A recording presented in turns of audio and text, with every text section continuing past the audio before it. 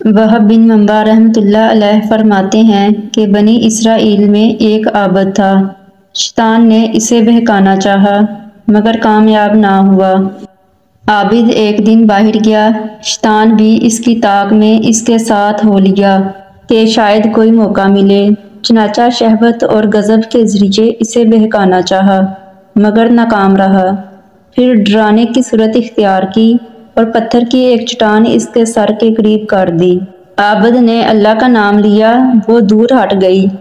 फिर वो शेर और दरिंदों की शक्लों में हाजिर होने लगा। मगर आबिद अल्लाह के ज़िक्र में लगा रहा और इधर ध्यान तक ना दिया। फिर इसने सांप की शक्ल बनाई। आबद नमाज़ पढ़ता था, सांप इसके पाँव से लिपटने लगा। हता के पूरा जिसम पट से होता हुआ सर तक पहुँच गया। वो सजदे का इरादा करता तो सांप इसके चेहरे से लिपट जाता। वो सजदा के लिए सर झुकाता, सांप लुकमा बनाने के लिए मुँह खोल लेता। मगर वो इसे हटाकर सजदा करने में कामयाब हो गया। नमाज़ से फारिग हुआ तो शैतान कहने लगा कि ये सब हरकतें तेरे साथ मैंने ही की थी हैं, मगर मैं किसी में भी कामयाब ना हो सका। अब तो मेरा इरादा है कि तेरे साथ दोस्ती लगा लूँ। और आज के बाद तुझे बहकाने का ख्याल तक भी दिल में ना लाऊं। आबिद ने कहा, हरगिज़ नहीं।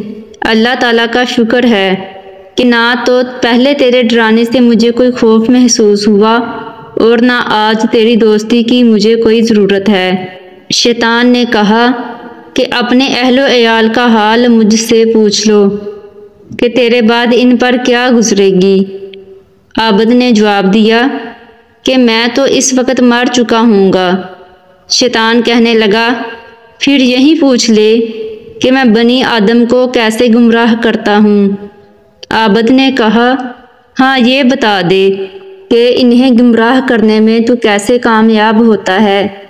कहने लगा, तीन चीज़ों से, बुखल से, गुस्सा से और मदहोशी से। एक आदमी जब वकील होता है तो हम इसका माल इसकी निगाहों में कलील दिखाते हैं, जिससे वो हकूक़ वाजबा में सरफ करने से रुक जाता है और लोगों के माल में रिगबत करने लगता है। गुस्सा से इस तरह के जब कोई आदमी गुस्से का मरीज़ हो तो इसे अपनी जमायत में यूँ घुमाते और चक्कर देते हैं, जैसे बच्चे खेल के दौरान गेंद को इधर उधर फेंकते और घुमाते हैं। ऐसा शख्स ख्वा अपनी दुआओं से मुर्दों को ज़िंदा करना भी जानता हो, मगर हम इससे मायूस नहीं होते। वो जो चाहे बना ले, हम एक ही कलमा से इसे बिगाड़ देंगे। और जब कोई शख्स मदहोश होता है तो हम इसे बुराई की तरफ़ पकड़कर यूँ ले जाते हैं, जैसे कोई बकरी को कान से पकड़कर जहाँ चाहे ले जाए।